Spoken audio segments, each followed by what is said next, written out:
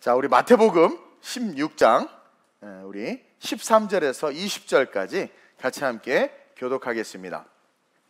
마태복음 16장 우리 13절에서 20절입니다. 제가 먼저 봉독합니다.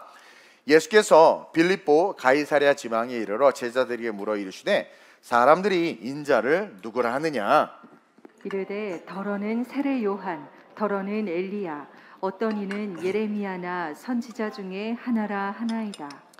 이르시되 너희는 나를 누구라 하느냐 시몬 베드로가 대답하여 이르되 주는 그리스도시요 살아계신 하나님의 아들이시니이다. 예수께서 대답하여 이르시되 바요나 시모나 내가 복이 있도다 이를 내게 알게 하니는 혈육이 아니요 하늘에 계신 내 아버지시니라 또 내가 내게 이르노니 너는 베드로라.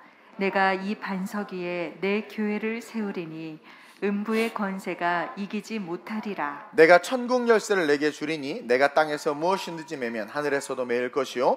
내가 땅에서 무엇이든지 풀면 하늘에서도 풀리리라 하시고 함께 이에 이에 제자들에게 경고하사 자기가 그리스도인 것을 아무에게도 이르지 말라 하시니라. 아멘. 오늘 이 본문 말씀을 가지고 제목 한번 합독해 볼까요? 시작. 교회의 시작 그리고 아름다운 우리 교회 라는 제목으로 은혜를 나누려고 합니다 제가 지난주에 좋은 병사와 좋은 일꾼이 만나면 놀라운 역사가 일어난다고 그랬어요.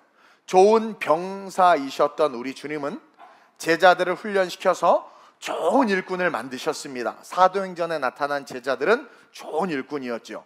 그리고 그들을 통해서 이 땅에 처음으로 교회를 세우셨어요.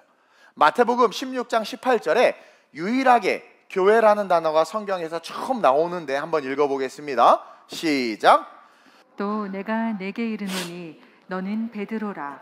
내가 이 반석 위에 내 교회를 세우리니 음부의 권세가 이기지 못하리라. 그 전에는 성전, 뭐 성막, 성소, 지성소 이런 단어들이었는데 이 마태복음 16장에 와서 예수님께서 처음으로 교회라는 말을 쓰시면서 그 교회를 세우시겠다고 말씀하십니다.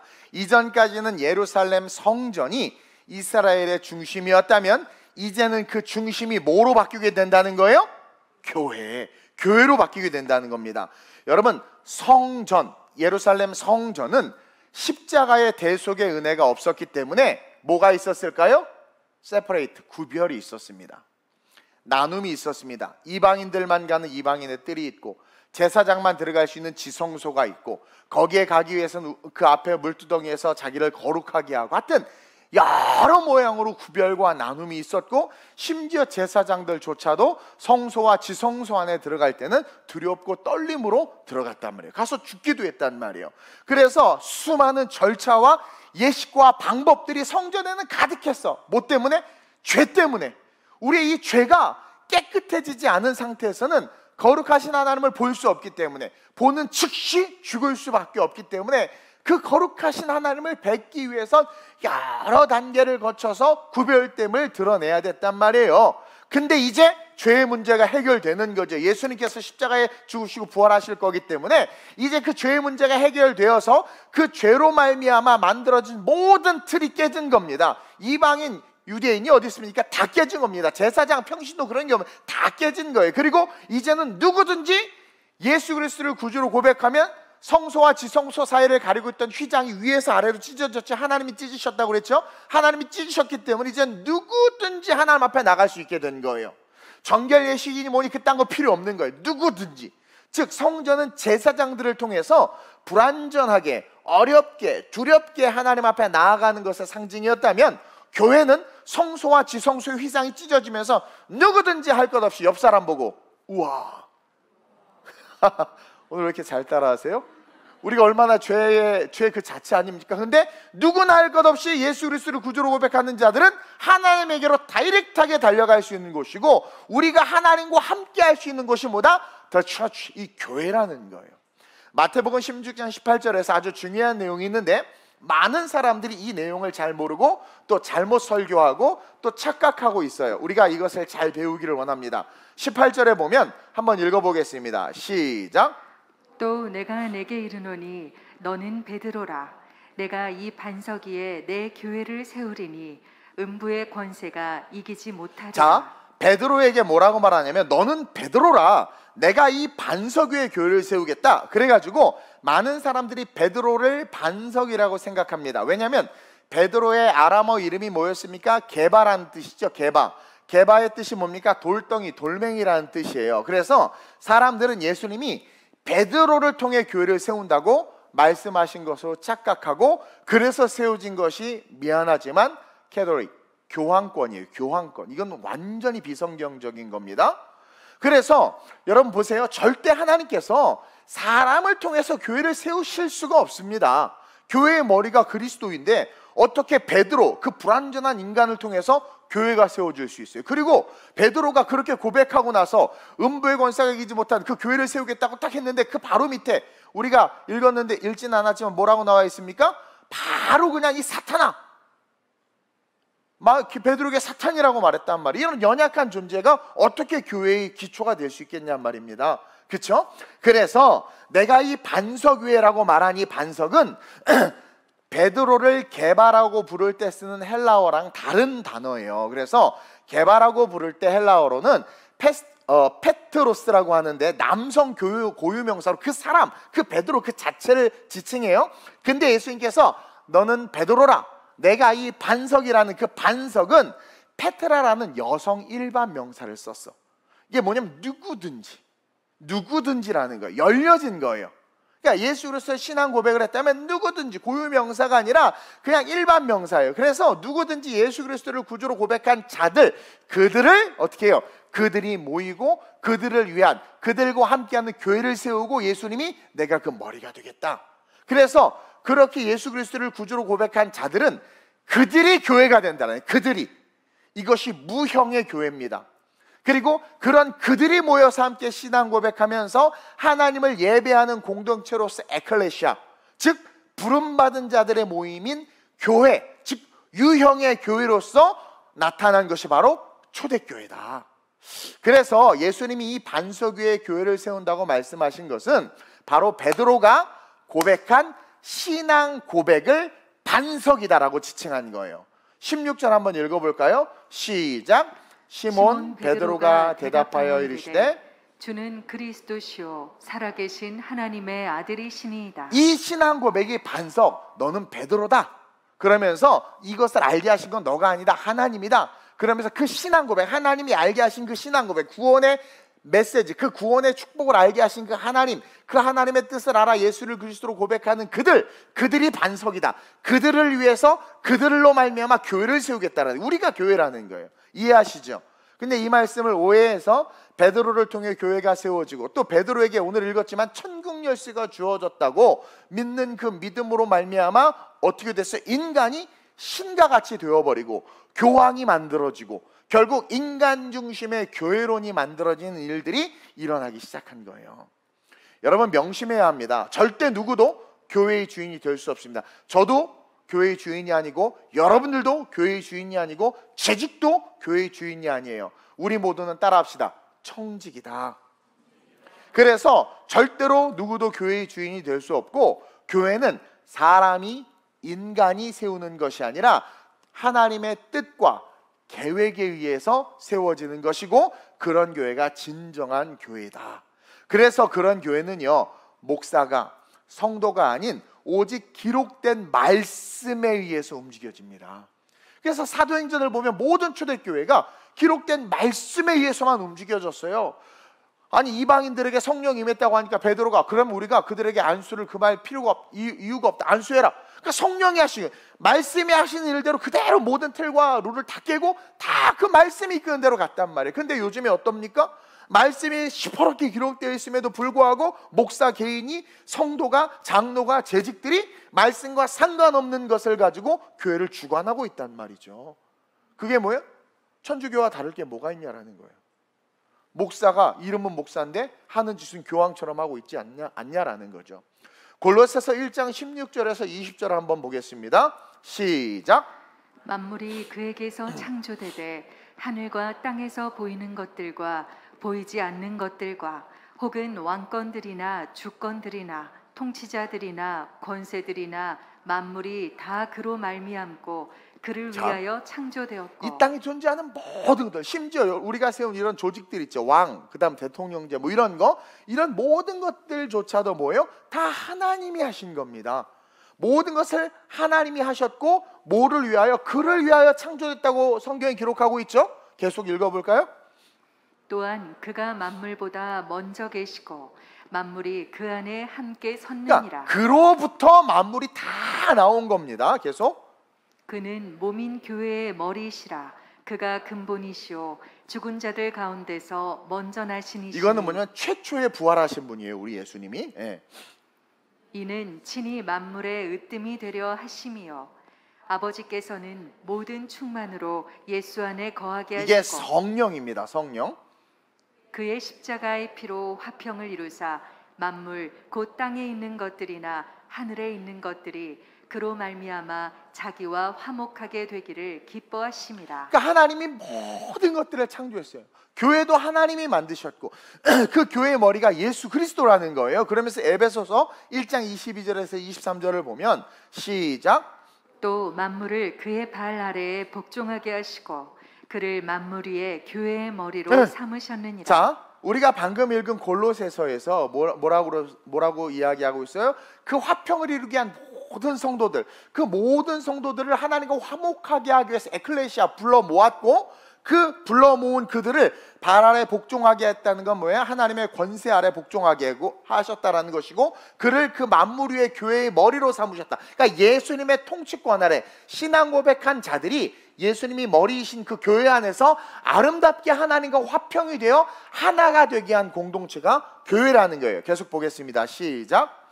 교회는 그의 몸이니 만물 안에서 만물을 충만하게 하시는 이의 충만함이니라 우리는 그 충만함, 성령의 충만함을 받아 예수님의 몸을 이루어가는 거예요. 신앙 고백한. 그래서 살과 피를 먹는 겁니다. 그래서 살과 피를 대하는 우리는 예수님의 몸을 이루어가는데 성령으로 충만하여서 그의 충만에까지 이르면서 머리이신 그리스도, 즉 말씀에 의하여 예수님께서 이끄시는 대로 교회가 쭉 걸어가야 하는 것. 이것이 교회다. 교회의 주인은 교황도 인간도 아니라 교회는 사람이 세운 것이 아니라 하나님이 세우셨고 하나님의 뜻에 의해서 그 모든 만물이 그의 안에 있었던 것 같이 교회 또한 그분 안에 있었고 그것이 이 땅에 나타나 아버지의 뜻대로 운영되어지고 이끌어가도록 하나님이 지금도 일하신다라는 거예요.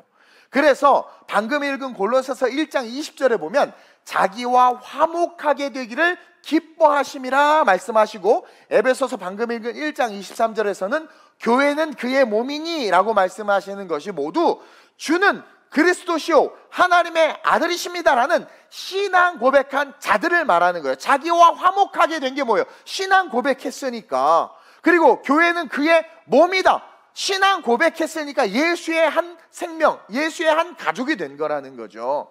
즉, 진정한 신앙 고백을 한 자들은 예수님과 교회 안에서 화목하게 되고 교회의 몸을 이루는 공동체, 즉 구성원이 된다는 것이며 이 교회의 머리가 목사가 재직이 어떤 힘 있는 성도가 장로가 아니라 이 교회의 머리가 바로 예수 그리스도가 되어야 된다. 그래서 예수님은 좋은 병사를 택하여 기록된 말씀이 머리가 되어 가르치게 하는 거예요. 그러니까 목사의 머리는 성경이어야 되고 그렇죠? 말씀이 말씀이 머리가 돼서 예수님이니까 예수가 교회의 머리니까 말씀이 머리가 돼서 모든 성도는 어떻게 돼요? 그리스도의 몸을 이루어 가야 되는 거예요. 그래서 예수님은 좋은 병사를 택해서 기록된 말씀이 머리가 돼서 가르치게 하시고 좋은 일꾼인 성도는 그리스도의 몸으로서 기록된 말씀이 이끄는 대로 교회를 세워 가야 하는 거예요. 따라서 교회는 재미를 위한 것도 세상과 복음이 접목되는 어떤 크로스오버의 필드도 또 목사님 교회는 창의적인 공간이 되어야 합니다. 창의적인 공간도 시대와 세대에 발맞추기 위해서 노력하는 것도 배꼽 보이는 옷을 입어도 되는 것도 아니라는 거예요. 세상을 따라가는 곳이 아니라는 겁니다. 교회는 교회는 절대로 세상을 따라갈 수 없어요. 세상이 교회의 머리입니까? 예수가 교회의 머리란 말이에요. 어떤 인간도 교회의 주도권을 가지고 교회를 자기 마음대로 할 수 없단 말입니다. 오직 그리스도가 주인이 되어서 그분의 말씀을 잘 배우고 실천하면서 다시 오실 주님을 바라보고 성령의 충만함이 이끄는 대로 쫓아가서 이 땅에 비전과 꿈을 가지고 땅끝까지 전도와 선교를 하면서 열심히 살아가는 삶. 그것이 교회를 이루는 진정한 성도의 삶이라는 거예요. 저는 전도하기 싫은데요. 선교하기 싫은데요. 저랑 안 맞는데요. 이게 뭡니까? 머리이신 예수 그리스도 기록된 말씀을 머리에 두지 않고 자기가 주인이 돼서 또 그것을 잘 배우지 않았기 때문에 좀 더 자자, 좀 더 눕자라고 말하는 거예요. 그러나 기록된 말씀이 머리가 되고 말씀을 잘 배우는 자들은 때를 얻든지 못 얻든지 복음을 전해야 하고 새 생명 전도 축제가 있으면 그래 평생 이거 없었으면 전도 한번 못했을 뻔했는데 이번에 한번 해보자 목사님이 밥 사주라고 했으니까 내가 진짜 근사하게 한번 밥 한번 쏘고 대한민국은 먹으면 찍게 돼 있잖아요. 먹으면 오게 돼 있잖아요. 이빨 먹이세요 그냥. 그냥 한번 전도하겠다. 뭔가 말씀이 가르치는 대로 가야 되는데 아유 또 목사님 왜 저러시나? 아유 또 이게 요즘 시대가 어떤데 이렇게 전도하고 아우 그래. 그 사람은 미안하지만 머리신 예수님의 몸을 머리신 예수님으로 말미암아 교회를 이루는 그 몸이 아니라는 거죠. 오순절 성령이 딱 임하면서 마가다락방에서 120명이 기도할 때 성령이 임했죠. 그게 초대교회가 된 거예요. 그 120명이. 그리고 그곳에서 성령 받은 무리가 베드로의 베드로와 같이 막, 막 흩어지면서 설교했는데 베드로가 한 번 설교하니까 3천 명이 뒤집혔잖아요. 그 3천 명이 예루살렘 성전이 아니라 그 성전 옆에 있는 솔로몬 행각에 모인 거예요. 거기서 또 뜨겁게 예배한 거예요. 그게 초대교회였으며 그들의 모인 그 공동체가 예루살렘에 있었기 때문에 그들의 군중 그 무리를 예루살렘 교회라고 부른 겁니다. 그러니까 예루살렘 교회는 어디다가 아니에요. 물론 신학자들은 그것이 솔로몬 행각이다라고 말하기도 하는데 그것은 잘못된 것이고 예루살렘 교회라는 것은 예루살렘에 있는 예루살렘이라는 지역에서 예수 그리스도를 구주로 고백한 자들이 모이는 그 모임, 그 공동체 모여서 베드로를 초청해서 설교를 듣고 모여서 뜨겁게 기도하고 모여서 떡을 떼고 모여서 예배하고 그 모든 것들이 뭐다? 우리가 말하는 초대교회 그래서 아니 초대교회가 어딨나 그러지 마세요 그냥 초대교회는 뭡니까? 예수 성전이 이제 없어지고 예수 그리스도를 구주로 고백한 자들이 모인 그 모임의 공동체라는 거예요 그들이 뭘 따라갔습니까? 유대의 율법을 따라갔나요? 제사장의 가르침을 따라갔나요? 유대의 관습을 따라갔나요? 전통을 따라갔나요? 아니요 철저하게 머리이신 예수님을 따라갔어요. 예수님을 그게 초대 교회라는 거예요. 그리고 그들이 흩어져서 이제 안디옥에 모였습니다. 안디옥에 모여서 그들이 또 모여서 예배하고 안디옥에 A라는 곳에 모였다, B라는 곳에 모였다, 또 저쪽 누구 집에 모였다. 그것이 안디옥 교회인 거예요. 초대 교회인 거예요. 이후에 루디아가 자기의 집을 내어주면서 이제 그 집이 빌립보 교회가 되고 그러면서 바울이 전도하면서 집을 사고 땅을 사고 하면서 그것을 교회로 세우기 시작하면서 교회들이 계속 확장되기 시작한 거란 말입니다. 지금의 교회와 같은 모습이 된 거예요. 즉, 지금의 교회와 같이 건물의 유형의 교회 안에 신앙 고백한 성도의 성도들인 무형의 교회들이 모여서 하나님의 말씀을 듣고 또 찬송하고 예배하는 것 그것이 지금의 교회가 된 거예요. 따라서 이 무형의 교회를 무시해서도 안 될 뿐만 아니라 유형의 교회를 무시해서도 안 되고 유형과 무형이 하나 되어 머리이신 그리스도를 향해서 열심히 지상 대위임령 말씀을 지켜 행하는 것이 진짜 교회다. 그것이 초대 교회다. 아름다운 우리 교회가 지향해야 하고 바라봐야 하고 걸어가야 될 교회의 모습이 그런 교회의 모습이다. 그래서 여러분 구역도 모이면 예배를 드리는 이유가 신앙 공동체가 모였기 때문에 두세 사람이 내 이름으로 모인 곳에 내가 그들과 함께 그분이 머리로 함께 하시면 머리이신 예수님 안에 몸이, 몸을 이룬 우리가 그 구역 식구들이 예배하는 거예요. 그래서 예배하는 거예요. 아 맨날 예배하고 구역 모임도 모여서 뭐 예배하고 맨날 예배 예배 예배 천국 가지 마세요 그러면 이것이 분명한 성경적 교회론을 가진 자들은 짧게라도 그래서 목사님들이요 예를 들어서 성지순례를 가거나 여행을 가더라도 항상 짧게 예배를 드려요. 항상. 왜? 모였으니까 예배를 드리는 거란 말이에요. 머리이신 예수님이 말씀을 통해서 우리가 어떠한 태도를 갖기를 원하는가? 또 그 순간 말씀을 내 마로 받아서 움직이고. 그렇게 되는 구역도 마찬가지 짧게라도 모여서 예배를 드리고. 그러니까 이것이 싫고 이것에 크레임을 거는 자들은 뭡니까? 미안하지만 그리스도의 몸으로서의 온전함을 이루지 못한 자일 수 있다라는 거예요. 혹은 배우지 못했기 때문에 그런 걸 수 있다라는 거죠. 그래서 여러분 초대교회는 한마디로 말하면 모이면 예배, 무조건 모이면 예배하고 흩어지면 전도한 거예요. 근데 한국 교회가 초창기 때 이렇게 해서 부흥했어요. 한국 교회가 뭐 있어요? Nothing 아무것도 없어요. 모이면 다 거지들만 모여 있어. 배고파 죽겠어. 흩어지면 거지 같은 삶이 펼쳐져 있어요. 근데 어떻게 부흥했는 줄 아세요? 성경적 모임을 하고 성경적으로 흩어져서 전도했더니 부흥이 일어났다. 또 한 가지 우리가 오해하고 있는 게 천국 열쇠가 베드로, 천국 열쇠를 베드로에게 줬다고 그러잖아요. 그러니까 천국 열쇠가 베드로에게 있는 줄 알고 로마 같은 데 가거나 기독교 국가에 가면 베드로는 동상이 많이 있잖아요. 그러면 저게 베드로다. 어떻게 알 수 있어요? 열쇠 쥐고 있는 놈은 베드로야. 칼 들고 있는 놈은 누구예요? 자꾸 놈이라고. 그분은 누구예요? 바울이야, 바울. 말씀에 검을 가졌다 그래서. 근데 베드로에게 열쇠를 준 게 아닌데 캐톨릭이 그렇게 만들어 버렸죠. 어쨌든 천국 열쇠가 베드로에게 있는 줄 알고 자꾸 베드로를 의지하고 교황을 의지하고 여러분 교황의 말이 법인 거 알죠? 무서운 겁니다. 그리고 교황이 용서하면 죄가 다 사해져. 이건 말도 안 되는 일들이 벌어지고 있는 거예요. 그러면서 그 계보를 이어가고 있는 게 지금 그, 그 교황 시스템이에요. 근데 지금 목사들도 이렇게 지금 하려고 하고 있는 거 아니겠습니까?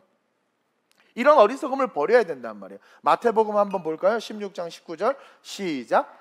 내가 천국 열쇠를 내게 주리니 내가 땅에서 무엇이든지 매면 하늘에서도 매일 것이요 내가 땅에서 무엇이든지 풀면 하늘에서도 풀리리라 하시고 자, 이 말씀을 잘 보세요. 이것은 베드로에게 준 특권이 아니라 교회에 주신 특권이다. 그리고 예수 그리스도를 구주로 고백한 우리에게 주신 특권이다. 여기서 내가 천국 열쇠를 내게 준다, 내게 준다라고 말한 그 내가 누구의 반석을 말하는 거예요. 신앙 고백한 그 고백을 말하는 겁니다. 그래서 그 신앙 고백한 자들에게 천국의 열쇠. 그래서 우리가 예수 믿고 죽으면 천국 가는 거예요. 그러면서 마태복음 7장 7절에서 8절에 먼저 말씀하신 것을 지금 확신을 먼저 말씀해 주신 것에 대한 답을 주는 거예요. 한번 읽어볼까요? 시작. 구하라 그리하면 너희에게 주시 아니 베드로가 구해야지 베드로가. 근데 모든 사람들에게 말하고 있잖아요. 구하라 그럼 너에게 준다고. 근데 베드로에게만 네가 땅에서 매면 하늘에서 매고 땅에서 풀면 하늘에서 풀린다. 그럼 그 응답의 권세가 베드로에게 있다는 건데 이 말이 말이 안 되는 거잖아요. 그렇죠? 계속 읽어볼까요?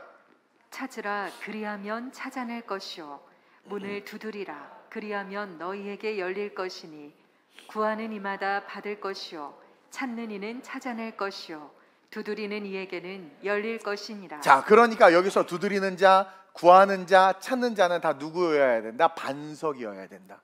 신앙 고백한 자들이어야 된다. 그래서 신앙 고백한 자들은 누구든지 구하면 응답받고 누구든지 찾으면 찾아지고 누구든지 두드리면 열린다라는 거예요. 그러면서 그것을 요한 사도가 마지막 죽기 전에 다시 한번 확인해 줬죠. 요한 1서 5장 14절 15절에 시작 그를 향하여 우리가 가진 바 담대함이 이것이니 자, 그를 향하여 예수님을 향하여 우리가 가진 바 담대함, 그분을 신앙 고백, 믿기 때문에 가진 담대함이 이것이니 계속 그의 뜻대로 무엇을 구하면 들으심이라 자, 그의 뜻대로라는 건 너희가 교회라는 거예요. 그러면 교회인데 교회의 머리가 누구냐라는 거예요. 예수 그리스도. 그러니까 우리가 구하는 것이 누구의 뜻대로여야 된다는 거예요.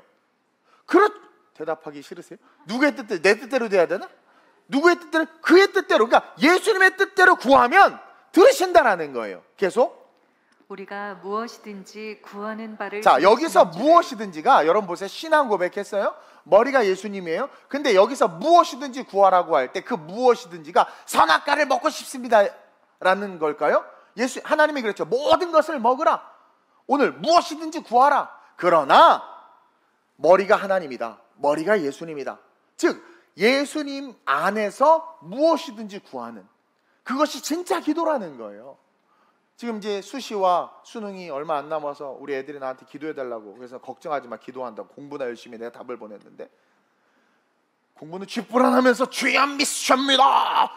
구하는 자에게 주신다고 했어니 지혜를 주시고 막 국영수가 마스터 이게 뭐 중연불한다는 이게 이게. 이게 이게 이게 교황 우리가 무엇이든지 구하는 바 아버지 십자가 예수가 머리이기 때문에 그 은혜 안에서 그 성령 안에서 하나님께서 주시는 것을 구하는 거예요.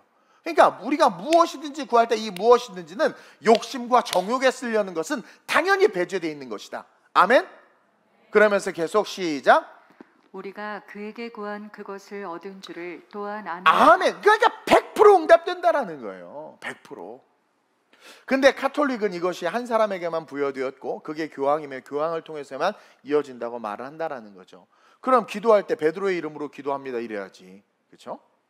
내가 천국 열쇠를 내게 주리니라는 말씀에서 네 개가 베드로가 아니라 신앙 고백한 성도들이다. 그래서 신앙 고백한 자들은 하나님을 아바 아버지라 부르며 무엇이든지 구할 수 있는데 그 무엇이든지 속에 정욕에 쓰려고 욕심으로 잘못된 것을 구하는 것은 자연이 없는 거죠. 자연이 없는 거예요. 그러면서 뭐 그의 나라와 그의 의 연약한 자와 가난한 자 아버지의 나라가 확장되기를 내 사랑하는 가족들이 예수 믿기를 구하고 그쵸 병든 자가 치유되기를 구하고 가난한 자에게 하나님의 일용할 양식이 공급되기를 구하고 그 아버지의 뜻대로만 구하는 거예요. 그럴 때 어떻게 돼? 그렇게 구하는 자는 하나님이 오 이쁜 것 네가 있어야 될거 내가 안다 해서 내 안에 응답이 일어나는 거예요. 그러니까 저도 제게 부족한 것이 없어요. 하나님 다 채워주세요. 그것이 성경 안에 있는 축복이다. 이따 말하겠지만. 그래서 우리는 오직 예수 그리스도만 바라봐야 된다. 그래서 구하는 자에게 좋은 것을 주신다라고 성경에 말하고 있는 것을 우리는 이제 이해할 수 있고 해석할 수 있게 된 거죠. 이번에 한 분이 섬겨 주셔 가지고 제가 제주도에서 휴가를 보내면서 제가 누릴 수 없는 축복을 누렸는데 이렇게 느낀 게 뭐냐면 막 이렇게 돌아다니면서 봤어요. 근데 모든 것이 다 제자리에 있는 거예요. 밤에 봤더니요. 세상에 북두칠성은 고조선 시대에도 북두칠성 그 자리에 있네. 그 모양이 하나도 삐뚤어짐이 없네. 그렇죠? 북극성은 언제나 그 자리에 있고 해와다. 그러니까 전체가 관측이 되고 우리가 방향을 잡을 수 있는 거 아니겠습니까? 북극성 보면 길 찾아간다면서요. 그것처럼. 근데 그게 움직이면 말이 됩니까? 모든 게 그 바다는 바다가 싫다고 갑자기 내륙으로 들어오나? 언제? 그러니까 재미 없어진데 갑자기 모든 게 다 제자리에 있는 거예요. 고기를 그렇게 오징어를 그렇게 많이 잡았는데 오징어가 또그 자리에 있어. 모든 게 그 자리에 있어요. 근데 오직 인간만이 자기 자리에 있지 않는다라는 걸 제가 깨닫는 깨닫게 된 거예요. 그냥 그게 그냥 이렇게 와닿았어요. 하늘의 해와 달과 별들과 모든 피도, 피조물들이 만든 모습 그대로 그곳에 그대로 있는데 오직 인간만이 하나님을 예배해야 하는 자리에 있지 않고 내가 너희를 지으면 나의 찬송을 부르게 하려 함이라 하나님을 예배하도록 만들어 예배하는 자리에 있지 않고 시간이 흐르면서 교회가 텅텅 비어져 가는 모습을 보는 거죠. 철야 예배 드릴 곳이 없어요. 갔더니 다 노인분들만 계세요. 이분들 다 소천하시면 어떡하나. 진짜 깝깝해. 그러니까 교회가 팔려나갈 수밖에 없고 아름답게 지은 성전들이 그냥 허물어지고 유럽처럼 나이트클럽이 되고 이렇게 되는 거예요. 근데 사람 있잖아요. 백화점 가니까 미어 터지잖아. 공항에 미어 터지더만 코로나 없어요. 미어 터지더만. 사람은 있는데 그들이 있어야 될 자리가 어딥니까? 성전이잖아요. 성전에 없는 거예요. 모든 피조물들이 있어야 될 자리에 다 있는데 또 우리에게 주신 사명이 있어야 될 자리에 있도록 하라고 우리에게 사명을 줬는데 우리가 그것을 경히 여기는 거야. 안 해, 안 해, 안 해. 싫은 거예요. 싫은 거예요. 그러면서 수요예배를 드리면서도 가슴이 아픈 이유가 목사님이 너무 열심히 설교를 하시더라고. 노인 한 10여 분 앉아 계시는데 젊은 목사님이에요. 와, 그러면서 분명히 제주도에 그렇게 많은 사람들이 있는데 물론 인구가 뭐 비례해서 많지는 않지만 어쨌든 사람이 있잖아요. 근데도 불구하고 어떻게 있어야 될 자리 그들이 없는 거예요. 오늘 우리는 어떤가요? 너무나 하나님 당연히 있어야 되고 우선시 되어야 되는 자리에 있지 아니하고 TV 앞에 앉아 있고 세상에 앉아 있고 쓸데없는 생명 없는 것에 앉아 있고 그것이 더 중요해지고 그러니까 오직 인간만 있어야 될 자리 없구나. 그러면서 가슴이 너무 아픈 거예요. 그러면서 우리 교회를 바라보면서 다시 초대교회와 같이 올바른 신앙 고백과 영성으로 회복되지 않으면 이것을 가르치지 아니하면 결국 텅텅 비겠구나. 인간의 모든 화려함, 우리의 모든 자랑 결국 헛되고 헛될 수밖에 없다. 이걸 깨닫는 거예요. 전도가 안 되는 것, 선교가 변질이 되고 있는 것, 이 모든 것이 있어야 될 자를 잃어버렸기 때문이구나. 그러니까 예배의 자리, 가장 기본이 되는 모여서 예배하고 흩어져서 전도하는 초대교회가 부흥하고 하나님이 가장 기뻐하셨던 여러분 이적과 역사가 언제 가장 많이 일어났어요? 모여서 기도하고 흩어져서 전도할 때 가장 많이 일어났단 말이에요. 근데 그것이 그것을 잃어버린 거죠. 그리고 그 자리로 돌아가기 위해서는 다시 초대교회, 예수님이 세우신 그 초대교회, 그 원형의 모습을 우리 교회가 회복해야 되겠다. 이것을 가르쳐야 되겠다. 하늘이 두 쪽 나도 우리가 절대로 잊지 말아야 되는 것은 우리를 이끄시는 분 예수 그리스도, 우리의 머리는 예수 그리스도. 우리는 모이면 예배하고 흩어지면 전도하고 선교해야 되는 것이 우리 예수를 그리스도로 고백한 자들의 기본이다라는 거. 절대로 여기에 인본주의와 자유주의와 세속주의가 틈을 노리고 삐집고 들어와서는 안 된다라는 거. 안식일만큼은 다른 건 몰라도 거룩한 주일만큼은 하늘이 두 쪽이 나도 내가 있어야 될 자리에 있어야 한다라는 거. 이것이 우리에게 사명이요 아니 의무요 당연히 해야 된다라는 것이 회복되지 아니하면 어떻게 우리가 전도할 수 있겠는가? 다음 세대들을 어떻게 예수 앞으로 이끌 수 있겠는가? 지금 다음 세대들이 얼마나 혼란과 혼돈을 느끼고 있는지 아세요?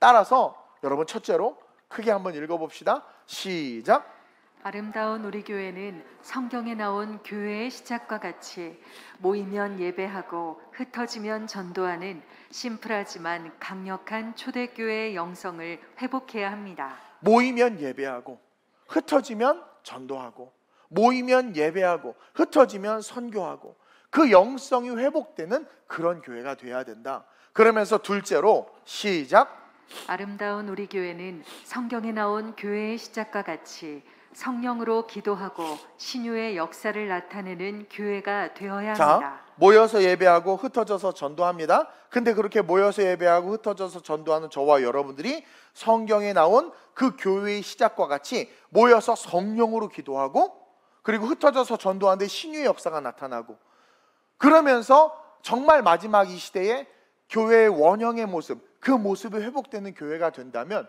뭐 요즘엔 부흥이 안 됩니다. 뭐 다른 방식의 목회를 해야 됩니다. 뭐 이렇게 이런 것들을 도입해야 됩니다. 무슨 세미나 엄청 많아. 미래 목회 포럼 해 가지고 저도 문자가 막. 오라고 오라고 오라고 막. 근데 아, 한번 가, 가볼까? 가보고 싶다? 뭐 그런데 가만히 기도해 보면 냉랭해 가슴이. 답은 성경에 있는데 제가 금요일에 금요일에 어, 어, 엊그저께 여의도 순복음교회 이영훈 목사님하고 또 진검다리 모임이 있는데요. 우리 교단 13명의 차세대 젊은 목사님들 그 모임이 있어요. 그래서 목사 이영 목사님 우리 13명하고 14명이 여의도에 모여서 오찬을 했어요. 그러면서 이제 식사하면서 이런저런 이야기들을 하고 이영호 목사 우리 교단 어쨌든 이번에 세계 오순절 대회도 지금 여의도 순복음교회가 지금 리드에서 가고 있는데 우리 오순절 교단의 차세대 지도자들을 위해서 자기가 멘토가 되어주고 힘이 되어주시겠다고 말씀하시면서 이런저런 얘기를 했어요 식사하면서. 근데 그 얘기를 듣는 중에 늘 알고 있고 당연히 그래야 한다고 생각했는데 다시 들으니까 아, 너무나 기본적인 내용이에요. 근데 다시 들으니까 내가 우리가 예수의 본 궤도에서 이게 많이 이탈했구나 라는 생각이 새삼 드는, 드는 거죠 그렇게 하는 이야기가 있었어요. 무슨 말이냐면 이영호 목사님께서 이런저런 좋은 얘기들을 해주는데 어, 한국 교회가 문제가 뭐냐면 제가 저도 여러 번 이야기했잖아요. 우리 한국은요 유교 사상에 뿌리를 두고 있단 말이에요. 유교 사상이 뭡니까? 점잖고 또 선비 사상 공부하고 배우고 그래서 배운 놈들은 막 높여주고 안 놈들은 상놈이라고 그러면서 그렇죠? 우리 다 상놈이야.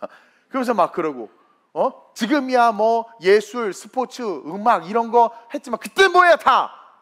야, 야 이런 거 아니에요. 막 노래 부른다고 막 딴딴 막 이러고 막그 그막 어, 공부 머리 이런 애들이 한다고 그러고 막 어, 화장 막 분칠하고 막 어우동 막 이러면 그렇죠? 그렇죠? 그 유교 사상의 뿌리가 있기 때문에 이 한국이요 장로교단하고 잘 맞았다라는 거예요.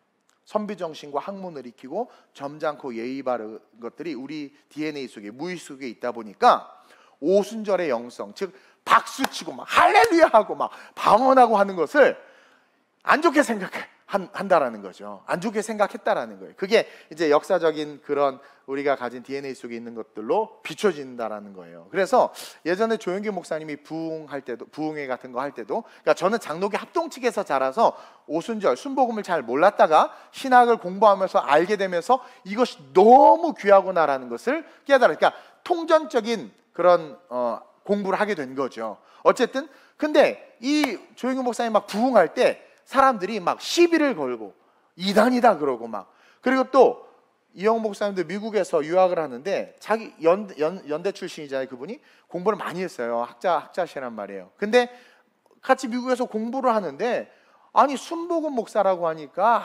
하면서 수업 시간 내내 한 시간 내내 장, 장로교단 신학교죠. 그냥 그렇게 까드라는 거예요. 까드라는 거예요. 그러면서 어? 많이 상처를 받았다라는 거예요. 근데 지금 세계 기독교 통계를 보면 우리 오순절, 우리 순복음 교단의 교세가 전 세계에서 가장 큽니다. 그리고 우리 교세의 10분의 1이 장로교 교단의 교세란 말이에요. 여러분들이 우리 한국의 프레임에만 갇혀서 그런데 선교를 나가 보면 알지만 제가 만난 많은 해- 세계 목사님들 그리고 부흥하는 교회 만나면 제가 물어봐요. 어, 어디 소속입니까? 그럼 Pentecostal church라는 거예요. 아 나도 Pentecostal church다. 그러니까 여러분 Pentecostal 오순절 교단이 우리 교단이에요. 그리고 웨일즈 부흥, 아주사 부흥, 평양 대부흥 다 Pentecostal 오순절 부흥이 오순절 교단이란 말이에요. 그러면서 이 순복음 교단의 교세가 가장 큰데도 불구하고 프레임에 갇혀서 그 능력을 드러내지 못하고 그리고 그렇게 훌륭한 목사님들이 그렇게 막 성령 운동을 하는데 물론 이것이 은사주의로 빠지면 안 됩니다. 근데 그렇게 하는데 막 그런 선비 정신들이 치고 들어오니까 그런 걸 또 추구하기 시작하면서 고상해지고 박수 안 치고 근데 지금 봐요. 전 세계 교회가 다 주여 삼창하잖아. 지들이 욕해 놓고 방언 그렇게 연결해놓고 다 통성으로 기도하는 왜 통성으로 기도 안 하냐고 막 그러잖아요. 물론 아직도 조용히 제가 종로에 가서 모 교회에서 예배했는데 숨 막혀 죽는 줄 알았는데 뭐 그런 교회도 물론 있어요. 나쁜 게 아니라 중요한 것은 뭐냐면 우리게 우리가 바라보는 그 중심이 뭐냐라는 거예요. 인간이 만든 유교 문화, 유대주의, 모세의 율법 거기에 묶여 있느냐? 아니면 머리신 그리스도, 성경 여러분 오순절 교회가 어떻게 세워졌습니까? 이들이 막 방언하고 소리 지르고 난리를 쳤어요. 보니까 다 베드로 깡천 출신 어부들이야. 그러니까 유대 제사장들과 사두개인과 서기관들이 저 아이고 저 상놈들 저거 그러면서 그걸 거부한 거란 말입니다. 터부시한 거란 말입니다. 그러니까 그들에겐 구원이 흘러가지 않은 거 아니에요. 근데 오늘도 우리가 이러고 있지는 않나요?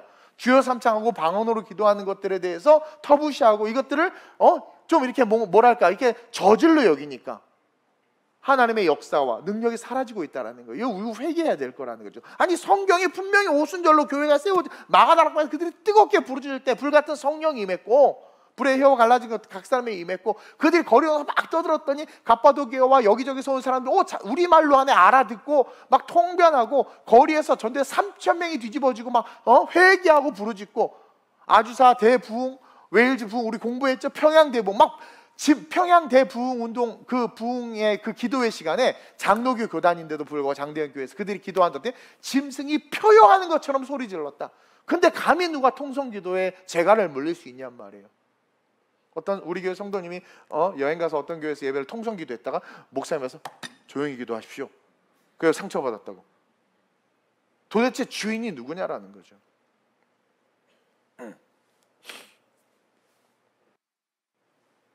그러면서 오순절 교단의 시작인 시작이 사도행전 2장이에요, 여러분. 우리 교단의 시작이 모여서 금식하고 통성으로 기도하며 성령 받길 구해야 한다는 거죠. 그러면서 하시는 말씀은 그러니까 그냥 깡으로 생으로 원 원래대로 해야 된다라는 거예요. 근데 너무나 우리 순복음 목사님들이 원래대로 하지 않으니까 지금 한국 교회 전체 교세가 지금 줄고 있지 않느냐. 근데 또 거기 모인 목사님들하고 얘기해 보니까 그래도 우리 오순절 교단 교회들은 코로나 이후에 다 많이 회복됐어. 우리 교회 많이 회복됐잖아요. 근데 놀라운 거 아세요? 장로 교단이나 다른 교단들은 이렇게 회복이 안 된대요.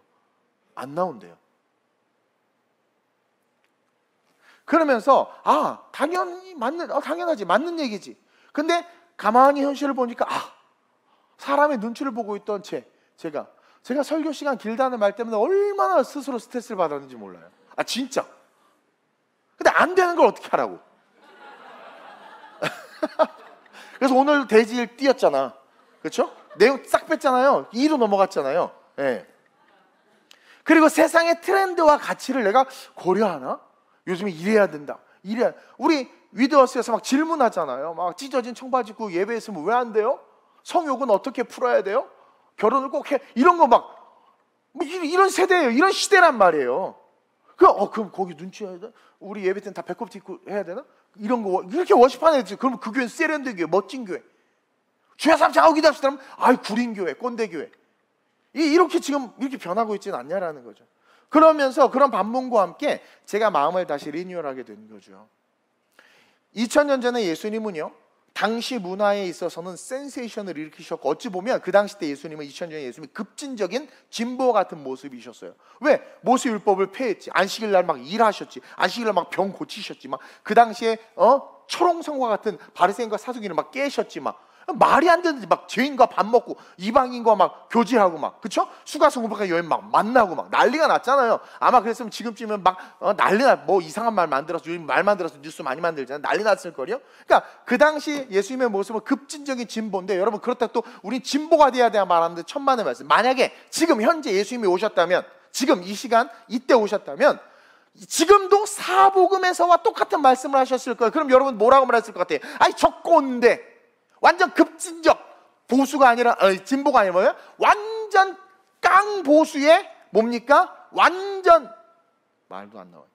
융통성 없는 꼰대 꼰대라고 그러지 않겠습니까? 왜? 이렇게 첨단 4차 산업혁명 시대에서도 예수님은 모이라고 두세 사람이 모이겠서 내가 함께 할 것이라고 그리고 완전히 이런 것들 여러 율법과 예수님의 말씀을 가르친다고 해보세요. 얼마 여러분들이 답답하고 고리타분하다고 여기시겠냐라는 거예요. 여러분 보수다 진보다가 중요한 것이 아니라 뭐가 중요합니까? 말씀이 중요하다. 그래서 머리가 되시는 거예요. 그러니까 우리는 그 머리를 쫓아가야 그 몸 한 몸이 되는 거란 말이에요. 그분은 변하지 않는다라는 거죠. 이해하세요? 변하지 않는 복음이 2000년 전이나 4차 산업혁명 시대나 동일하게 변하지 않는 복음이 그때는 살아있는 멍멍이를 키우지만 지금은 로봇개를 키우잖아요. 나 사고 싶더라고 그거. 달래게 달 로봇개. 사모님도 안 싫어할 것 같고 이 막 키우면 뭐 사고 싶어. 얘는 뭐 냄새도 안 나니까. 근데 지금은 그런 기계개를 키우고 그때는 얘는 살아있는 그래도 동일하게 예수님은 그런 시대와 상관없이 뭐요? 복음으로 서 계신다. 변하지 않는 복음으로. 그래서 이 성경이 모든 세대에 통용되는 거예요. 미래에도 이 성경은 통용되고 과거에도 이 성경은 통용될 수밖에 없는 게 그것은 변하지 않는 진리이기 때문이다. 시대가 바뀐다고 바뀐 시대에 맞춰서 가는 것이 아니라는 거예요 교회는 시대가 바뀐다고 바뀐 시대에 맞춰서 가는 게 아니라는 거죠. 교회는 예배는 이 성경을 중심으로 변하지 않고 본질적인 가치를 잃어버리지 않고 주님 다시 오신 그날까지 쭉 걸어가야 돼. 그게 등과 기름을 같이 준비하는 건데 오늘날 많은 한국 교회가 뭐만 준비하고 있어요? 등만 준비하고 있다. 기름이 없다. 말씀. 제가 기름은 말씀이라고 그랬어요. 이 말씀이 선포될 당시에는 예수님이 아직 부활하시지 않았고 성령이 오시지 않았기 때문에 성령은 누구에게만 예수님에게만 오신 상태였기 때문에 등과 기름을 준비하라고 말하는 이 기름은 뭡니까? 말씀이에요. 그러니까 이들은 등만 준비했어요. 율법, 유대 율법만 지켰단 말이에요. 근처에 하나까지 11조하고 어, 몇, 몇 킬로 몇, 몇 이상 가지 않고 안식일에 아무 일도 하지 않고 그건 잘 지켰는데 말씀 하나님께서 선명하게 선지자들과 또 예수님께서 오시신 말씀을 지키지 않은 거죠. 그러니까 어떻게 율법만 지키다가 버림받았단 말이에요. 오늘날 한국 교회가 이 말씀을 머리를 두지 않고 이 말씀을 지키지 않고 율법과 자기 생각과 유교적 세계관을 지키니까 어떻게 되는 주님 오셨을 때 나도 모른다 할 수 있다라는 거죠. 그리고 죽으시고 부활하시는 성령이 임하니까 이 말씀은 기름은 곧 뭐예요? 성령이 되는 게 성령은 예수를 주라 시인하고 가르쳐 주시는 분이고 예수의 말씀 기억나게 하는 분이니까 성령과 말씀은 하나이기 때문에 이제 이 기름이 성령이 되는 거예요. 오늘 우리에게는. 그리고 이 성령은 말씀을 깨달아 지키게 하는 우리에게 가르쳐 주는 하나님의 지혜라는 거죠. 그렇게 걸어가야 되는데 주님 다시 오셨을 때 우리는 등만 준비한 교회로 서 있지 않겠냐라는 거죠. 그리고 처음 교회를 만드신 예수님은 그 교회를 다시 오실 때까지 분명히 변화시키지 않아요. 소아시아 교회도 마치 변화시키지 않아요. 책망받은 거 보세요. 시대가 많이 변했음에도 불구하고 책망받은 거 보세요. 그 예수님 말씀하신 것에서 벗어난 것을 책망했단 말이에요. 따라서 우리는 사도행전과 같이 사도행전과 같이 성령을 구하고 여러분 성령으로 기도해야 돼. 이게 회복돼야 돼요. 그럴 때 신유의 역사가 일어나요. 그리고 신유 역사가 일어나지 않아도 몸이 아파도 그 아픔을 능히 같이 끌, 끌어안고 갈 수 있는 큰 믿음이 생겨요. 천국 소망이 있으니까. 시련도 견디게 돼요. 그래서 성령을 구가 성령으로 기도해야 하고 이 오순절의 영성을 오순절의 영성이라는 게 뭐냐면 성령의 충만함을 받아 모여서 예배하고 흩어지면서 전도하는 게 오순절의 영성입니다. 정확히 가르쳐 드렸어요. 그 오순절의 영성을 회복해야 된단 말이에요. 그래야 전도와 선교가 살아날 수 있어요. 지금 뭐 우리 작년들 매주 화요일마다 모여서 전도한다고 하는데 모르겠어요. 어떤 보고를 하나도 못 받아가지고 피드백이 어떤지 모르겠지만 그것을 여러분들이 기쁘게 하냔 말이에요. 내년부터 이제 선교가 시작될 텐데 벌써 아 그거 어떻게 가 필리핀 그때 그거 어 지금 못해 지금 못해 왜 지금 못한 줄 아세요? 왜 왜 그때 내고 지금은 왜 못한 줄 아세요? 목사님 그때 젊었거든요 20대였거든요 그럼 나는 왜 그때는 하고 지금 못하는 줄 알았어요? 그만큼 우리가 오순절에서 많이 멀어진 거예요. 제가 말했죠. 오순절은 뭡니까? 성령으로 기도하는 거예요. 성령으로 모여서 예배하고 흩어져서 전도하는. 이거 영성을 잃어버린 거죠. 그때 여러분 젊을 때 그때 장로님도 가셨고 권사님들 다 가셨어. 근데 여러분들 장로님 권사님 나이 아니잖아요. 근데도 어, 지금 못 가요 말하는 건 뭡니까? 복음에서 많이 멀어졌어. 그리고 세상이 너무 가까이 와 있는 거죠. 하나님의 나라가 가까이 있는 것이 아니라. 세련된 것이 중요한 것이 아니고 남이 어떻게 보느냐가 중요한 것이 아니라 성경에 기록된 명령이 중요하며 남이 아닌 주님이 어떻게 보시느냐가 중요하다. 따라서 마지막으로 시작. 아름다운 우리 교회는 성경에 나온 교회의 시작과 같이 물건을 서로 통용하며 가난한 자가 없는 하늘의 축복을 받는 교회가 되어야 합니다. 자, 우리가 그렇게 모여서 예배하고 흩어지면서 전도할 때 하나님이 그런 우리를 그냥 두지 않아요. 어떻게 하느냐? 모두 부자가 되게. 이제 눈이 떠지죠. 부자. 예? 이제 좀 말씀을 들을 마음이 생기나? 부자, 부자. 그래서 성경에 나온 온 성경에 나온 교회의 시작과 같이 물건이 서로 통용되며 가난한 자가 없는 하늘의 축복을 받는 교회. 초대교회는 다 축복받았어요. 모든 성도들이. 사도행전 4장 32절에서 35절에 보면 초대교회만 나타나는 이상한 특징을 기록해 놓고 있는데 한번 읽어 볼까요? 시작. 믿는 무리가 한 마음과 한 뜻이 되어 모든 물건을 서로 통용하고 자기 재물을 조금이라도 자기 것이라 하는 이가 하나도 없더라. 이게 쉬울 것 같아요? 그리고 여러분 읽는 순간 벌써부터 마음에 찌, 거, 부담스럽죠. 또 목사 무슨 얘기를 하실래나? 그렇죠? 보세요. 이게 이게 쉽지 않은데 이렇게 한단 말이에요. 계속. 사도들이 큰 권능으로 주 예수의 부활을 증언하니 무리가 큰 은혜를 아, 답이 여기에 있구나. 교회에서는 오직 예수의 부활, 천국 소망을 설교하고 그리고 그 설교의 은혜를 받으니까 성도들의 삶에 하나님의 나라가 이루어지는구나. 근데 그 나라가 이제 어떻게까지 확장되냐면 시작. 그 중에 가난한 사람이 없 할렐루야! 가난한 사람이 없대. 계속. 이는 밭과 집 있는 자는 팔아 그 판 것의 값을 가져다가 또 이러면 부자들 마음 상할라나? 밭과 집을 팔아야 되나? 잘 들어보세요. 계속. 사도들의 발 앞에 두매 그들이 각 사람의 필요를 따라 나누어 줍니다. 자, 초대교회 모여서 예배하고 머리신 예수님으로 모여서 예배하고 흩어져서 전도하면 하나님께서 그런 교회를 어떻게 하시느냐? 그 성도들 모두가 잘 살고 행복하게 하고 부족함이 없게 하고 부자가 되게 하신다. 근데 그 포인트가 뭐냐면 33절인데 사도들이 큰 권능으로 그래서 목회자가 중요한 거예요. 일꾼이 중요한 거예요. 사도들이 큰 권능으로 주 예수의 부활을 증언했다니까 본질적인 복음을 외쳐야 되는 거예요. 그러면 무리가 은혜를 받게 되죠. 다시 말해 무리는 교회인데 성도들인데 공동체들인데 이들이 은혜를 받았다는 것은 무슨 뭘 뜻하는 겁니까? 성령이 그들을 만지셨다. 그러니까 오순절날 불의 혀와 같은 것이 갈라져서 각 사람에게 임한 것처럼 부활의 메시지를 전하자 성령이 그 모인 공동체 초대교회 성도들에게 불의 혀와 같이 갈라져서 그들의 마음을 만진 겁니다. 그들의 마음을 만진 거예요. 그래서 은혜를 받았다는 것은 성령이 그들을 만졌다라는 거예요. 그리고 그들의 마음에 감동을 주시고 그들이 그 감동대로 물건을 통용하는 거예요. 여기에는 기쁨이 있습니다. 세상이 알 수도 줄 수도 없는 기쁨이 있어요. 저도 물질이 없지만 쓰는 것이 기쁜 그 기쁨을 알아요. 자기 재물을 조금도 자기의 것이라 여기지 않는다는 것은 뭡니까? 청지의 마인드가 있는 것이고 시선이 어디에 꽂혀 있는 거예요? 통장에 없어질 것에 꽂혀져 있는 것이 아니라 하늘에 꽂혀져 있는 거예요. 천국에 꽂혀져 있는 거예요. 그러면서 이 모든 재물은 하나님의 것이다. 하나님이 주신 것이다라는 믿음이 있는 거예요. 그리고 또 어떤 사람들은 밭과 집을 팔아서 사도들의 발 앞에 두었다고 그러죠. 여러분 이 역시 복음을 통해서 성령의 감동을 받아서 한 일인데 오해하고 있는 게 뭐냐면 이들은 밭과 집을 팔아도 자기의 밭과 집이 또 있는 자들이에요. 엄청난 부자들입니다. 근데 사도들은 그 물질 그것을 팔아서 발 앞에 놨을 때 그것을 자신들이 취하지 않고 어떻게 했어요? 정말 필요한 것을 흘려보내요. 그러니까 결론이 뭡니까? 가난한 자가 없는 거예요. 집을 팔고 밭을 팔아서 물질 있는 분들이 헌금을 했더니 그 사업과 그 지경이 더 잘 되고 루디아가 대표적으로 했죠. 그러니까 어떻게 돼요? 그도 복을 받지만 그 심어진 물질이 흘러가서 그 초대교회 헬라파 히브리파 과부들 엄청나게 어려웠거든요. 그들이 다 넉넉히 먹고도 남음이 있고 또 남과 비교하지 않는 거예요. 그러니까 물론 물리적인 가난은 있을 수 있죠. 상대적인 가난은 있을 수 있죠. 그러나 가난하지 않은 거예요.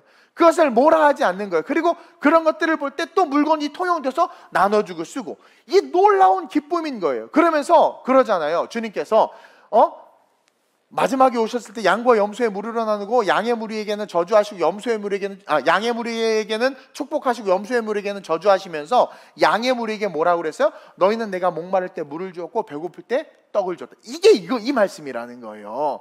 성령의 감동을 받아서 내 물건을 통용하고 성령의 감동을 받아서 흘려보내니까 몸이 튼튼하게 세워지는 거예요. 교회가 튼튼하게 세워지는 거예요. 그래서 머리이신 예수님의 명령을 수행할 수 있는 군사들이 되는 거예요. 그리고 그 그것을 베푼 것을 주님이 기억하셔서 내가 목마를 때 물을 주고 배고플 때 떡을 줬다는 것은 그것을 베풀어서 흘려보낸 거잖아요. 그것을 나에게 한 것이다. 그래서 내가 너에게 더 큰 것을 맡기겠다. 그러니까 여러분 흘려보낼수록 복이 되는 이 성경의 놀라운 축복의 선순환 이 원리를 깨달아야 된다라는 거예요. 그러면서 누가복음 12장 29절 31절에서 예수님이 가르쳐 준 게 또 증명이 된 거예요. 뭐라고 가르쳐 주셨습니까? 살아계실 때 시작 너희는 무엇을 먹을까 무엇을 마실까 하여 구하지 말며 근심하시지 자, 말라. 이제 앞으로 세워질 초대교회 성도들에게 한 말씀이고 예수님을 따르는 무리들에게 한 말이에요. 대부분이 다 배고팠잖아요. 오병이의 역사도 이것의 선상에 있는 이야기입니다. 광야고 먹을 것이 없고 배고팠는데 풍성히 먹고 남았다고 그랬죠. 배 터지게 먹고 남았어요. 이, 이해하십니까? 그것이 정말 하나 예수를 머리를 둔 교회 안에 일어나는 가난함이 없는 부욕해 되는 축복인 거예요. 그러면서 뭐예요?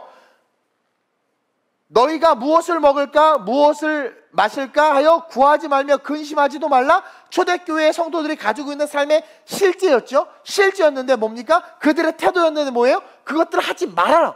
왜냐면 이 모든 것은 세상 백성들이 구하는 것이다. 성령의 감동으로 물건이 통용되고 밭과 집을 팔아서 그 물건이 흘러가므로 너희 필요가 다 채워질 거야. 그렇기 때문에 너희는 아버지께서 이런 것이 너에게 있어야 될 있어야 할 것을 아시느니라 그래서 성령의 감동으로 하나님의 사람들을 쓰시는 것이고 쓰심 쓰임 받은 자들은 더 크게 되고 쓰임 그 축복을 받은 자는 은혜가 있어서 그 은혜를 얼마나 더 헌신하게 되면서 가난한 자가 없이 하나님의 나라가 든든히 세워져 가는 그래서 엄청난 여러분 3천 명이 5천 명이 예배했는데 밥 먹었거든요.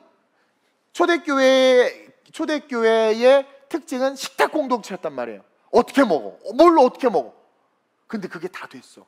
우린 지금 밥을 150명을 어떻게 먹일게 200명, 300명 막 고민하죠. 돼. 하면 돼요. 성령 인도함을 따라가야 된단 말이에요. 근데 사람의 혈기로 하고 순종하지 않으면 하여튼 모든 분란은 주방에서 일어난다는 게 맞다니까요. 순종 안 하면 분란이 일어나요. 순종하면 아무 문제 없어요. 왜? 그냥 그 평안이 임하거든. 그러니까 인간의 염려가 아니에요. 그러니까 가난한 자가 없어요. 그러니까 물리적으로는 상대적으로 있을 수 있지만 여기서 말하는 것은 정서적으로 가난한 자가 없고 감정적으로 가난한 자가 없고 의식적으로 가난한 자가 없는 거예요. 신앙적으로 가난한 자가 없는 거예요. 모든 영역에서 가난한 자가 없는 거예요. 그리고 또 한 가지는 꿈과 비전이 살아납니다. 이것은 오늘 시간이 없어서 다 다루지는 못하지, 못해, 못하지만 꿈과 비전이 살아나서 그 꿈과 비전으로 하나님의 나라를 구하게 되면서 있어야 될 모든 것들이 공급되는 역사가 일어나는. 저, 저, 제가 어떻게, 제가 아무리 돈이 많아도 저 그런 데서 못 자요. 그 돈 아까워서 못 쓰고, 제가 아무리 돈이 많다고 막 못 써요. 근데 하나님께서 다 먹이시고 입히시고 살게 하시는 것이, 그게 은혜라는 거죠. 엄청 부자인 줄 알아. 생긴 것부터 이래가지고. 그러니까 가난한 자가 없는 거예요. 다 가난한 자가 없는 거예요. 그 13명 목사님들 모였는데 내가 제일 부자 같아. 그런데 엄청 부자인데 진짜 내가 제일 진짜야. 내가 제일 부자 같아. 어우 할렐루야. 이게 가치가 하늘에 있고 그 가치를 위해서 흘려보내는 물질로 행복한 거야. 그 뭐, 제가요 자꾸 밥 사고 싶은 내가 밥 사게 밥 사게 하는 사람 몇 명 있어요. 근데 그게 내가 돈이 많아서 밥을 사는 게 아니라 내가 그 사람이 너무 좋고 고맙고 진짜 사랑해서 말하는 거예요. 여러분 그러지 않아요? 근데 하나님 우리를 사랑하는데 아비가 자식이 떡을 달라면 돌을 준 자가 어디 있겠냐? 더 좋은 것을 준다고 그러죠. 우리를 사랑 그러니까 그걸 알면 담대해지는 거예요. 염려하지 않는 거예요. 그걸 알면 그래서 그 물질을 받을 때도 기쁨으로 받고 응답과 감사가 넘치면서 함께 합력하여 선을 이루는 즉 하나님의 나라를 이루어가는 그 초대교회는요 여러분 행복했고요 모두가 만족했고요 차별도 다툼도 나눔도 없이 오직 하나님 나라의 영광으로만 가득했어요. 그냥 하나님 나라의 영광으로만 가득했어요. 얼마나 멋있습니까? 여러분 우리는 올바른 신앙 고백을 해야 돼요. 여러분 교회는 신앙 고백한 자들이 교회입니다 그리고 모인 이 공동체는 그렇게 신앙 고백한 자들이 모였기 때문에 사람을 따라가는 게 아니에요. 팔을 당팔을 나눠서는 안 됩니다. 고린도 교회처럼 뭡니까?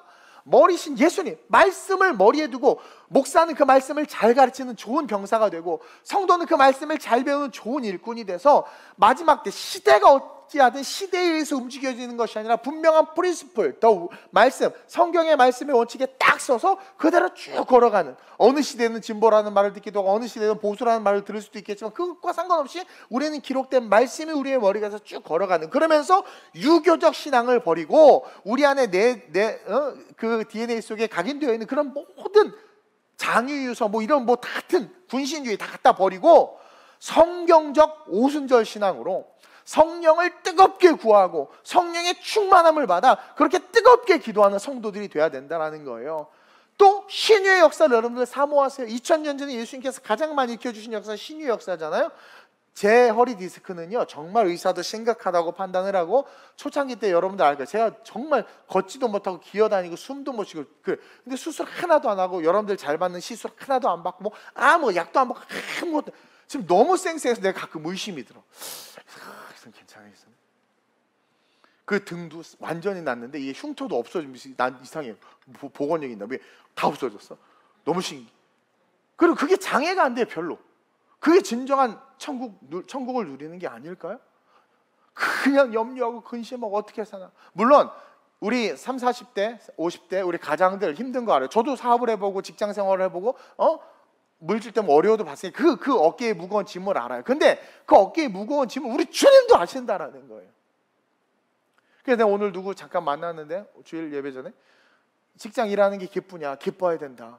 여러분 기쁨이 있어야 돼. 그 기쁨은 누구로부터 오는 직장으로부터 오는 게 하나님으로부터 와서 기쁨이 있으면 그 직장 생활 행복하고 하다 보면 저절로 잘 되고 부흥하고 스카웃 되고 또 뜻하지 않는 축복들로 그러니까 여러분 많고 적음이 아니라 진짜 부자는요 하나님이 주시는 것들로 풍성한 자가 진짜 부자라는 거예요. 그런 부유한 교회, 부유한 성도, 그런 거룩한 부자가 되는 그런 아름다운 우리 교회. 그래서 땅 끝까지 이르러 복음을 전하는 이 11개국과 교회 세우는 거 여러분 이거 주님께서 너무 기뻐요. 세상 사람들 어리석다. 야, 니네 교회나 빚이나 갚아라. 뭐 그렇게 말하지만 아니 이자만 내다 천국 가면 되잖아요. 그거 뭐 하겠다 그래. 그러니까 그러나 하나님의 나라를 세워가기 위해서 이렇게 힘쓰는 걸 하나님 너무 기뻐하시기 때문에 역사하실 수밖에 없고 부흥시키실 수밖에 없고 우리 교회 부흥에 대해서 인터뷰도 많이 했지만 뭐라고 제가 얘기 항상 선교 때문이다. 선교. 오늘도 그 목사님들 그런 얘기를 해요. 선교해야 부흥한다. 근데 선교를 안 해. 선교다운 선교가 없는 거죠. 그러니까 머리이신 예수님을 딱 머리에 두고 선교를 해야 되는데 선교 가면 립스틱 짙게 바르고 진주 사러 가자. 하루 그냥 교회 가서 헌금 조금 하고 와서 야 짝퉁 시장 가서 가방 완전 특A급이야. 막 이런 거 사갖고 오고 막 그냥 어? 애들은 그냥 햄버거 하나씩 먹여놓고는 그냥 자기네들은 럭셔리 호텔에 가가지고 막막 먹고 우리 선교 갔다 왔다 막 그러고 막. 선교사님 돈 빡빡 쥐어주면서 자기가 대장이 돼가지고 선교사 너 내 말 잘 들어야 돼. 막 이런 이런 물론 다 그런 건 아니죠. 그러나 진짜 선교사님들 보면 그냥 오주에서 누가 알아주지 않고 그냥 행복한 거예요. 땀 뻘뻘 흘리고 그냥 현지인인지 한국인인지도 모르는데 뭐 크게 기뻐하고 누가 물질 준다 아 괜찮습니다 필요 없습니다. 그게 물질의 종도 되지 않아요? 그냥 우리 행복합니다. 너무 행복하게 사는 거예요. 근데 물질로 선교했던 사람 한국에서 헌금 들어오는 날 알고 총 쏴서 죽이고 뺏어갔잖아요. 이게 이게 좋은 일꾼을 키운 겁니까? 그게 좋은 병사냐라는 거죠. 하나님께서 우리 교회를 사랑하시고 우리 교회를 다음 세대의 머리로 하나님께서 세우시길 원하시며 우리 교회 아이들을 하나님께서 업스트림으로 보내서 마지막 이 시대에 하나님의 빛과 소금으로서 살아가게 하실 거라는 확신이 제 안에 있습니다. 저는 제가 그러죠. 저 아니어도 하나님 일을 하세요.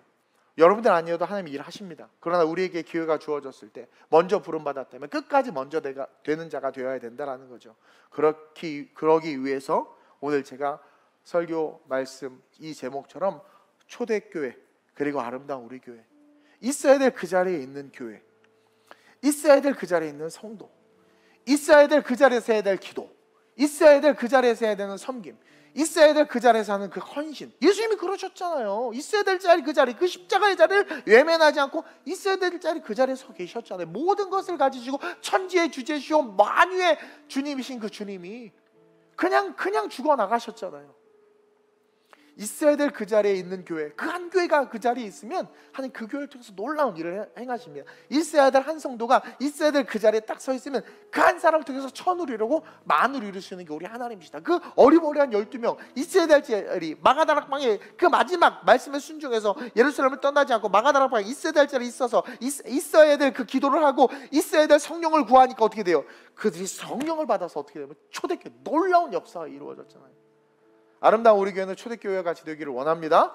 그러면서 오늘 이 말씀을 기억하면서 우리가 한번 기도했으면 좋겠는데 올바른 신앙을 고백하게 올바른 신앙 고백을 할 수 있게 해달라고 기도합시다.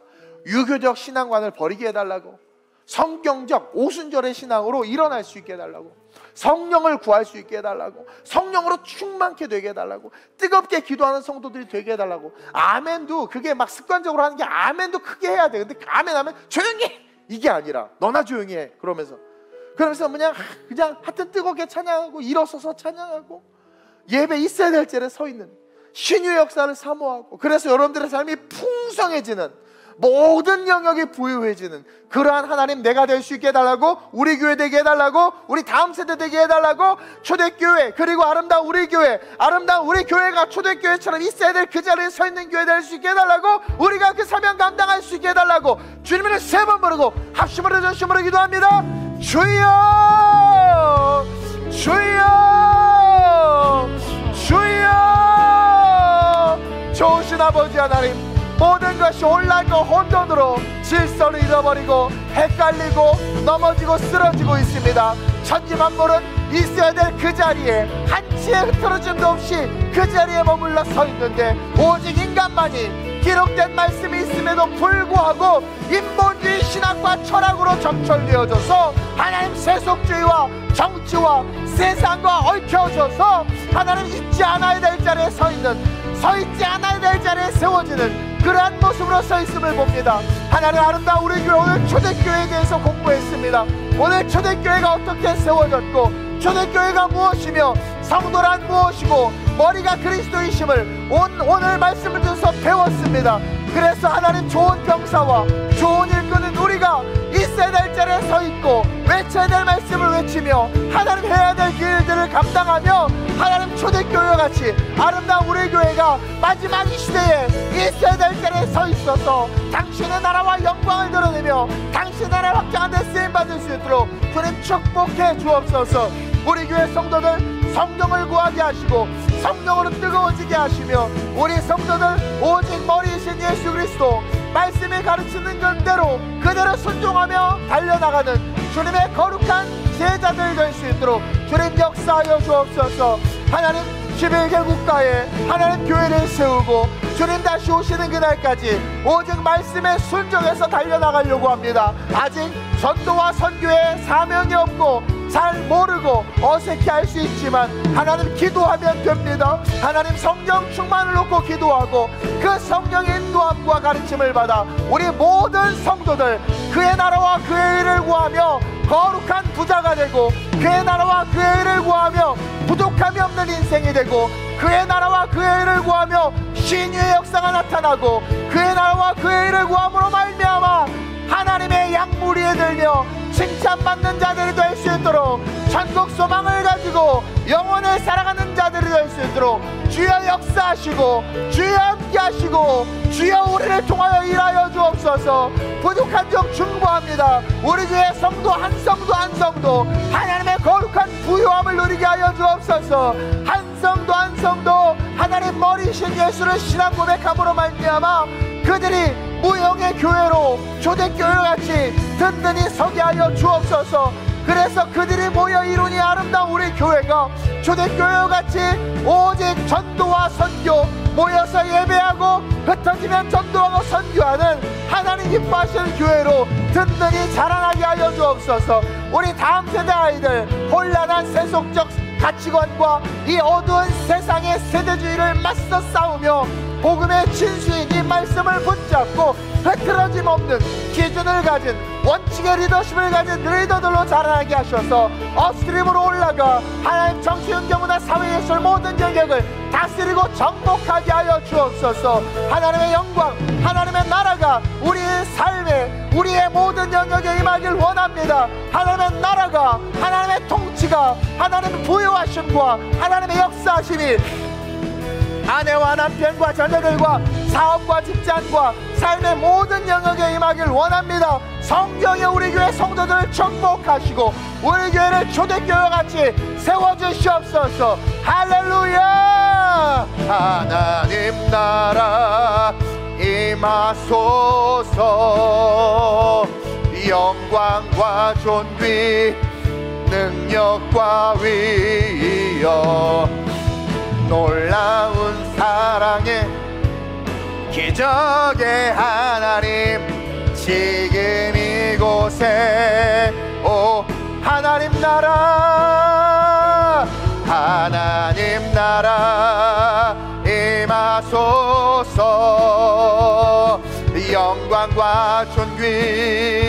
능력과 위엄. 놀라운 사랑의 기적의 하나님 지금 이곳에 주 높고 위대하심을 찬양할지어다. 주 높고 위대하심을 크게